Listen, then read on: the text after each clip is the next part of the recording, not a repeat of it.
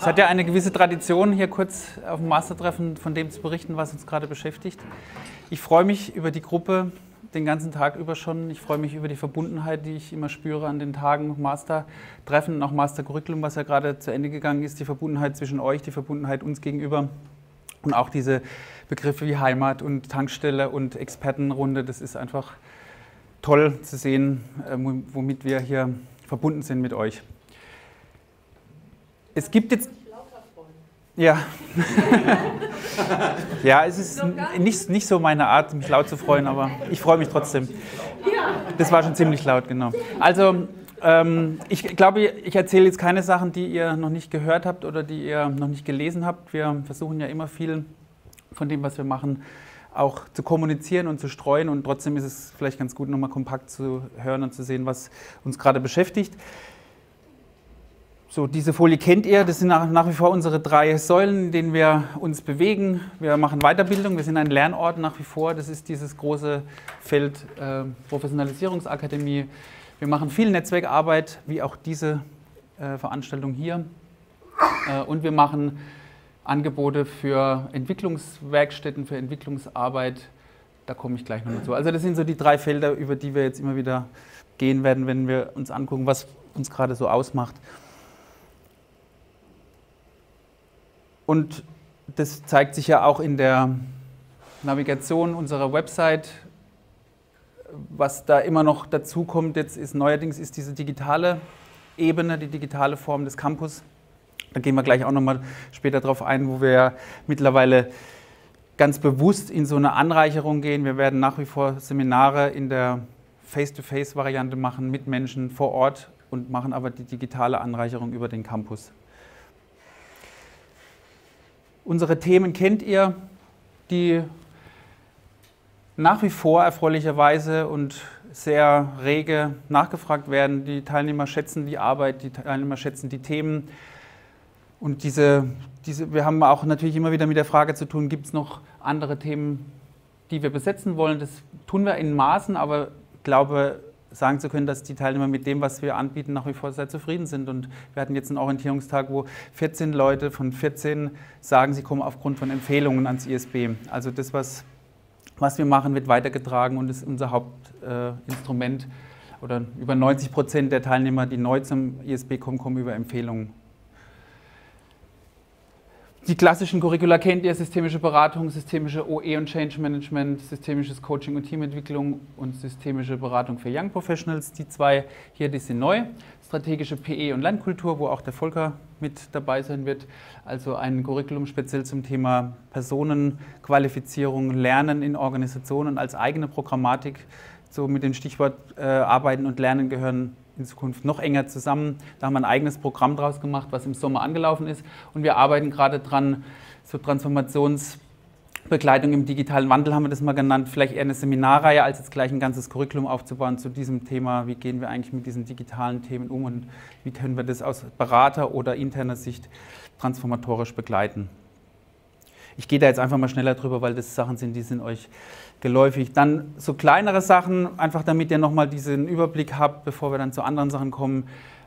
Ähm, kleinere, also drei Tagesseminare, die Art of Change, die Art of Life, Genius-Seminar mit dem Wolfram. Der Wolfram ähm, ist ja dabei, auszuscheiden aus der lehrenden Rolle, da komme ich auch gleich nochmal zu.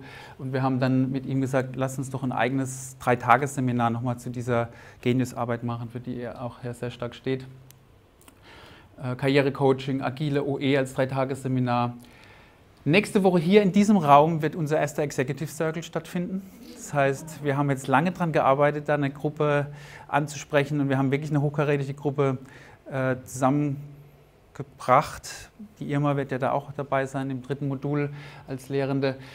Ähm, wir machen es wirklich in diesem Rahmen und wir haben Vorstände, Geschäftsführer jetzt äh, erreichen können und starten zum ersten Mal mit dieser Gruppe mit einem Generalsekretär von einer großen Volkspartei sind wir auch noch zugange, ähm, den uns der Hanno vermittelt hat. Also ihr seht, wir sind da auch sehr individuell beratend wirklich tätig gewesen. Es hat sich einfach für mich gezeigt, diese Gruppe kriegst du nicht durch Aussendungen und Mailings, die musst du sehr situativ, äh, persönlich ansprechen und dann auch an ihnen dranbleiben, weil die dann sagen, ja, ich würde das schon gern machen, aber dann geht es natürlich unter in den tausend Themen, die die haben.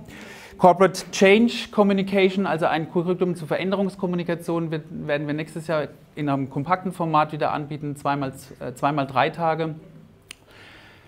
Das Masterprogramm ist jetzt gerade geendet im Oktober, wird 2021 wieder angeboten.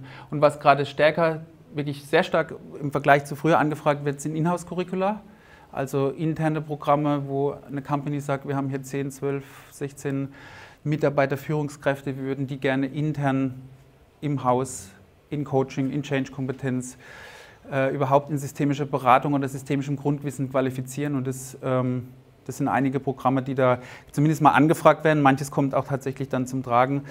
Ähm, anderes ist dann noch pending. Und dann gibt es noch unsere, äh, unser internationales Joint Venture mit dem Gießen, dem indischen TA-Kollegen von Bernd, der ja Anfang des Jahres ein Systemic Dialogical OD oder Organizational Change, wie es jetzt mittlerweile heißt, ähm, Curriculum gestartet hat in Indien und ich habe euch da nochmal diesen, diesen Banner da mitgebracht, der macht dann immer so lustige ähm, Grafiken, so diese zwei Berater mit so einem Raketenantrieb hinten auf dem Rücken. Ähm, das macht er hauptsächlich, also das macht er für seinen Markt, den er viel besser kennt als wir, aber wir haben mit Konzepten und auch mit Lernkulturelementen ihn unterstützt und ich werde tatsächlich, das darf man ja heute gar nicht mehr so ganz laut sagen, in äh, zwei Wochen oder in, in gut zwei Wochen nach Indien fliegen und da die erste Kohorte bei ihrem letzten Modul begleiten. Also bin da eine gute Woche in Indien bei ihm und mache dann auch die, das letzte Modul mit ihm. Ja, dann unsere ja, wirklich äh, für uns wichtige Säule der Alumni- und Netzwerkarbeit. Die verschiedenen Sachen kennt ihr auch vom Lesen des Mastertreffen, die Master Group, das Pionierlabor, was im Januar wieder stattfinden wird, wo wir Menschen aus dem Netzwerk einladen, gelungene Beispiele, Pionierbeispiele, Pionierprojekte auf die Bühne zu bringen und mit anderen daran weiterzulernen. Unser ISB Nord Symposium, an dem ja auch ihr schon wart.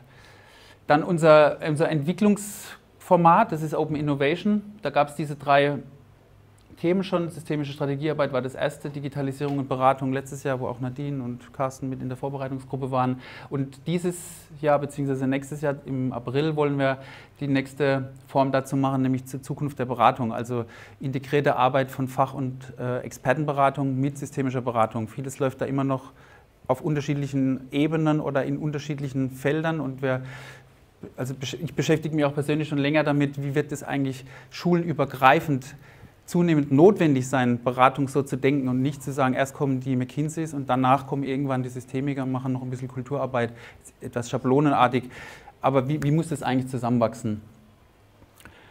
Professional Groups sind ja Angebote, wo wir in strategischer Partnerschaft mit Leuten auch aus dem Netzwerk bestimmte Sachen anbieten. Und dann war ja hier dieser Afternoon-Tea schon angesprochen, der grüne Schwan, da ist er. Ähm, klar, wir beschäftigen uns auch mit dem Thema. Wir werden mit Judith Schmidts Unterstützung, die ja auch mittlerweile eine Rolle hat in der Stiftung und im ISB, unseren Footprint ermitteln für uns als Organisation, als ISB GmbH und Stiftung werden das kompensieren, also wollen auch da auf Klimaneutralität stellen und sind selbst dabei, viele Prozesse zu überdenken. Also erstens, wie können wir Stromverbrauch einschränken? Wie können wir unsere, wir hatten das vorhin mit äh, Wolfgang, äh, wie können wir einladen, dass man mit Bahn und öffentlichen Verkehrsmitteln anreist, Fahrgemeinschaften bildet, also die Frage auch nochmal ins Licht holen, wie kommen die Teilnehmer eigentlich in die Curricula, wie reisen sie an? Äh, und äh, ja, also über so ein Format wie ein Afternoon Tea, also so ein ganz kleines, niedrigschwelliges Format von zwei, drei Stunden, auch immer wieder zum Dialog dazu einladen. Und das passte dann ganz gut vorhin auch zu dem, was wir in unserer Gesellschaftsgruppe vorhin besprochen haben. Wie können wir das Netzwerk für diese, für diese grüne Idee nutzen? Also auch da seid ihr jederzeit eingeladen. Die Barbara, wo ist sie, war letztes Mal auch virtuell dabei mit einer, mit einer Videokonferenz, was glaube ich gut geklappt hat. Also zumindest wir konnten dich gut hören und du uns hoffentlich auch. Also experimentieren auch mit Formaten, dass man nicht jedes Mal vor Ort sein muss, sondern sich dann dazugeben kann. Und es zeigt immer wieder diese Idee von, wir wollen, oder wir wollen Dialogräume eröffnen und in den, zum Dialog einladen, ohne dass wir immer schon die Botschaft kennen oder da irgendwas Besonderes wissen, sondern eher die Möglichkeit bieten, im Netzwerk das zusammenzulegen, was schon da ist. Ja, dann diese Folie mit, dem, mit den Lehrtrainern war heute Morgen die Frage, was, was ist das Übergangserlebnis dieses Jahr? Für mich war das dieses Jahr dieser Übergang, das habt ihr vielleicht auch gelesen, wir haben einen ganz wesentlichen Übergangsschritt gemacht im Frühjahr, indem wir nämlich die langjährigen, sehr langjährigen Lehrtrainer verabschiedet haben, die jetzt aufhören und haben neue dazu berufen. Das war beim Lehrtrainertreffen auch rituell ein ganz wichtiger Schritt für uns. Das waren ja Kollegen wie die Dörte, die seit 40 Jahren mit dem Band verbunden ist, seit, glaube ich, über 30 Jahren im ISB gelehrt und gearbeitet hat. Angelika Lehnen, Andreas Kannig, der letzte Woche seinen letzten Baustein hatte, seinen letzten ordentlichen Baustein. Ist also der erste dieser Generation, der wirklich seinen letzten Baustein jetzt schon gemacht hat. Äh, und ja, dann wirklich bei diesem Lehrtrainertreffen die bisherigen jetzt scheidenden Lehrtrainer auch verabschiedet aus dieser Rolle und neue berufen. Äh, unter anderem auch den Hanno, den ihr hier seht. Ja, also das war für uns ein ganz bedeutender Schritt, weil das nicht oft passiert ich weiß nicht, ob ich so einen, also so einen Übergang, wenn ich so lange am ESB noch sein werde, nochmal erlebe. Das ist ähm, klar, das ist für uns ein ganz bedeutsamer Schritt gewesen. Jetzt zum Thema Digitalisierung noch ein paar Sätze. Wir werden zum 1. Januar zum ersten Mal eine, eine ITlerin fest anstellen, was auch was sagt für uns. Also wir werden nach wie vor an diesen technologischen Themen auch arbeiten. Wir kommen da nicht dran vorbei. Und wir haben mit der Heidi Wetzel, mit der wir jetzt diesen ganzen Campus entwickelt haben, auch gesagt, die stellen wir wirklich an, weil wir diese Kompetenz auch im Haus brauchen wollen oder brauchen und auch haben wollen. Äh, diese verschiedenen Sachen kennt ihr, den Campus, den wir jetzt ja neu aufgebaut haben mit vielen Recherchemöglichkeiten, mit einer sehr, wie ich finde, sehr gut funktionierenden Suche mittlerweile. Und auch viele von euch nutzen das ja. Wir haben es ja im letzten Mastercurriculum immer wieder gehört, wie ihr das nutzt. Die Open Toolbox, eine klare Open Source Policy, das Verbinden von Video und äh, Inhaltsslides. Und was wir jetzt nochmal neu dazugenommen haben, das ist jetzt ganz äh, jung ja auch seit Mittwoch. Wir haben jetzt diesen bisherigen Netzwerkverteiler in den Campus integriert. Es ist leider so, dass äh, äh technisch es nicht, noch nicht so läuft, wie wir es wollen. Wir haben vielleicht am Mittwoch, manche von euch am Mittwoch eine Mail bekommen. Hat, vielleicht mal kurz 17. mit der Hand. 17, ja. Es gibt gab welche, die haben 80 Mal diese Mail bekommen. Also da seht ihr, da, da ist, obwohl wir viel getestet haben, wir haben, glaube ich, ein Dreiviertel bis Jahr daran gearbeitet, jetzt ähm, technisch noch was, was noch nicht so läuft, wie wir uns das vorstellen. Aber zukünftig wird es so sein, dass ihr dieses ganze Mail-Verteilersystem im Campus finden werdet. Dort wird es auch archiviert, das heißt, ihr müsst es auch nicht mehr auf eurem Client speichern, sondern ihr könnt dann mit einem Single Sign-On in den Campus gehen und dort auch die Netzwerknachrichten lesen und könnt sie dann auch über diese Suchfunktionen recherchieren. Also wenn ihr in den Antworten von ähm, Netzwerkmails suchen wollt, dann könnt ihr das zukünftig auch im Campus tun. Das heißt, wir machen da wirklich alles unter ein Dach. Das hat uns eine enorme Entwicklungsarbeit gekostet und auch, ja, wir ringen da immer noch, Almut war da auch sehr mit beteiligt, wir ringen da noch mit kleineren Themen. Bitte? Ja, ja, also an der, an der Grundsystematik wird sich gar nichts verändern. Das soll, wenn es jetzt dann nächste Woche läuft, hoffentlich so sein, dass es nach wie vor funktioniert wie bisher, dass man eine Mail schickt an dieses System, das System verteilt es und die, die dann antworten wollen, antworten demjenigen. Ähm, nur mit dem Unterschied, dass man jetzt auch in den also in den dann laufenden Mails recherchieren kann und wir haben die Mails fünf Jahre zurück da auch importiert. Also fünf Mails, die in den letzten fünf Jahren gelaufen sind und die jetzt noch von relevant sind. Also jetzt eine Stellenanzeige von vor drei Jahren, das haben wir dann nicht mehr importiert, aber, ähm, aber die, die halt inhaltlich relevant sind, die würdet ihr da dann auch finden. So, jetzt noch ähm, Blick auf die Zeit. Wir bauen. Das ist ein Großprojekt natürlich. Ähm, das könnt ihr euch vorstellen. Das wird uns ähm, hoffentlich bis Ende 2021 beschäftigen. Dann wollen wir es in Betrieb nehmen. Also die Bagger laufen. Ich habe euch ein paar Bilder mitgebracht. So sieht das ganze Ding von hinten aus. Äh, da steht die Scheune noch, die weichen muss, musste. Das ist ganz in der Nähe von, vom bisherigen ISB, vielleicht 200 Meter Luftlinie, ein altes Bauerngebäude.